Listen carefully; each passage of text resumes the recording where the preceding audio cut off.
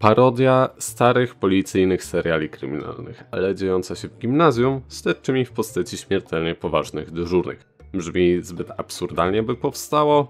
O, nic bardziej mylnego. Przedstawiam wam Filmora na tropie, czyli najlepszą kreskówkę spośród tych zapomnianych.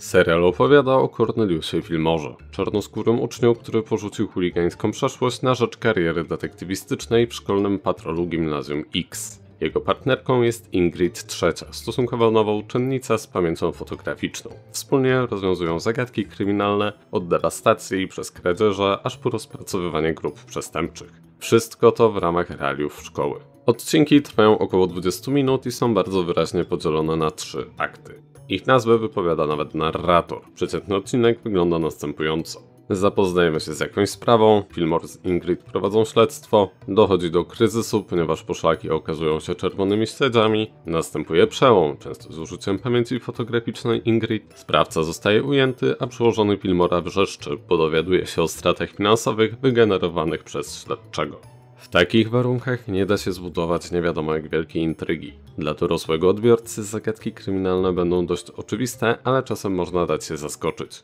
Twórcy bardzo sprawnie korzystają tu z narzędzi fabularnych. Ten serial stoi na dobrym foreshadowingu. Nie brakuje też wcześniej wspomnianych czerwonych śledzi, które mają odwracać uwagę odbiorcy i wydłużać odcinek. Dam wam przykład z piątego odcinka. Skupia się na drużynie rudzików, czyli żeńskich skautów, które działają na szkodę konkurencji. Kradną cukierki i ciasteczka, duszą konkurencję, oszukują przy sprzedaży tofi, a także niszczą znaki konkurentów. Ingrid ma przeniknąć do ich struktur, aby odkryć, gdzie przechowują skradzione słodkości. Ma go też odnaleźć w ramach testu na zostanie liderką rudzików. Udaje jej się znaleźć schowek w pokoju szkolnego klubu filmowego dzięki poszlace, którą zostawiła jej Malika, obecna szefowa rudzików. Chodziło o nazwę klubu filmowego na opasce kamery widoczną na podarowanym nagraniu. Do tego wcześniej dostaliśmy wspomnienia Walecho, który wspomina, że Malika była szefową klubu filmowego. Jako widzowie dostaliśmy dwie drobne poszlaki w tym kierunku. Twórcy wykazali się sprytem przy okazji wprowadzania postaci. Dzięki użyciu znanych klisz i zasady pokaż, nie mów, oszczędzają czas. Na pewno dałoby się wygładzić ekspozycję w paru momentach, ale ogólnie jest świetnie. W kilka chwil jesteśmy w stanie rozpoznać, że chociażby Walecho jest stereotypowym komisarzem. To samo tyczy się postaci epizodycznych. One są jednowymiarowe, ale dzięki temu łatwo zapadają w pamięć na 20 minut odcinka.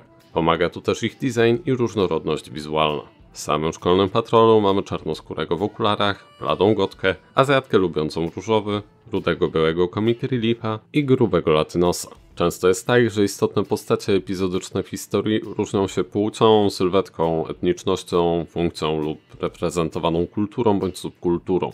Ten serial pochodzi z 2002 roku i spełnia współczesne wymogi inkluzywności, a do tego robi to w niewymuszony, mądry sposób. Natomiast w filmorze najważniejszy jest aspekt parodii. Miejsca akcji i motywy często są tutaj całkowicie niepoważne, a wszyscy traktują je koszmarnie serio. Chociażby kradzież szkolnej maskotki urasta do rangi gigantycznej katastrofy. Dzieciak, który tagował szkolne toalety, został zamknięty w dożywotniej kozie, a jego cela wygląda w ten sposób. Rozmowy są wypełnione kryminalną sztampą lub komorem. Zabrali to, co najlepsze. Ukradli nam książki. Czekaj, Noa. Odzyskamy książki. A nasza niewinność, Fillmore? Ukradli i ją. My możemy tylko znaleźć książki. Reszta należy do ludzi. Gdybyś czegoś od nas chciał, pamiętaj, tej biblioteki nikt nie zna lepiej od naszego klubu. Szczerze mówiąc, to żarty trafiają do mnie teraz bardziej, niż jak oglądałem Filmora za dziecka. Postacie mają swoje powiedzonka, Ingrid zamiast przekleństw używa kurczaki, po odnalezieniu poszlaki, Filmur nie rzuca bingo tylko disco, pojawia się też sporo humoru obrazowego. Genialnie wypadają też sceny pościgów. Postacie kradną rowery, zostawiają pułapki i wykonują szalone akrobacje. Tutaj dla przykładu ścigają się na absurdalnie szybkich krzesłach biurowych i toczą ze sobą walkę. Humor w każdej postaci wypada fenomenalny. Aż bierze, że nikt nie wziął się za kontynuację lub reboot po tylu latach. Na domiar złego, aktualnie Filmora nie można legalnie obejrzeć. Podobno był dawniej dostępny w Wielkiej Brytanii na Disney+, Plus, ale jeśli wierzyć Redditowi, to zniknął pół roku temu. Na szczęście w internecie rzadko kiedy coś ginie. Znalazłem dwa sposoby, żeby obejrzeć Filmora. Pierwszą jest YouTube, gdzie znajdziecie go w 720p w proporcji 4 na 3 albo w wersji wyostrzonej do 4K z proporcjami 16 na 9 z lekko uciętymi brzegami. Problem w tym, że one są po angielsku, ale linki zostawiam w opisie. Jeśli chcecie obejrzeć film oraz polskim dubbingiem, to możecie zrobić to jedynie w 480p na pewnej stronie, która aktualnie posiada prawa do kultowego dzieła Otyłego Pana.